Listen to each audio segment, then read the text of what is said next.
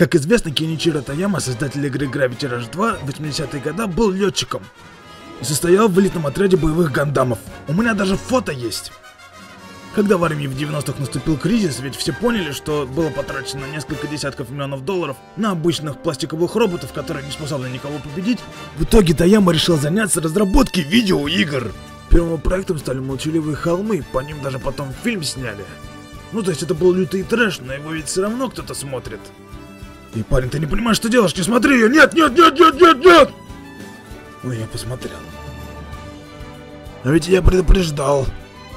Таяма очень любил фильмы про Супермена. Еще он любил смотреть нарезки из фильмов с Джеки Чаном.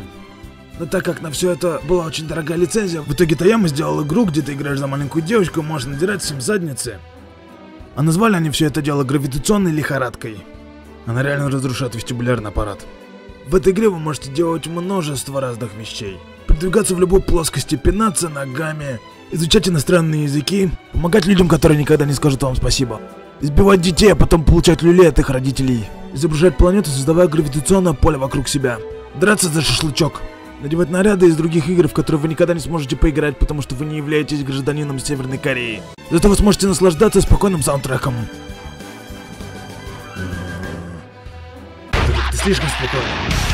Вот так лучше, да! А теперь что же касается озвучки.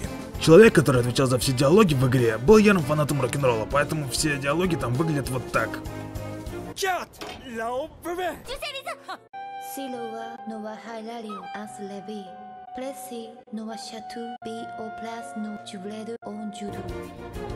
Wubba lubba dub dub.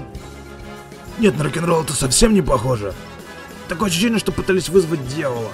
Но если у вас другие идеи, то пишите их в комментарии. Если ты не хочешь, чтобы твоя жизнь была такой же серой и унылой, как последний раунд Ларина на Версусе, жмакай на все кнопки, которые видишь перед собой, подпишись на канал, расскажи друзьям. Не забывай про колокольчик.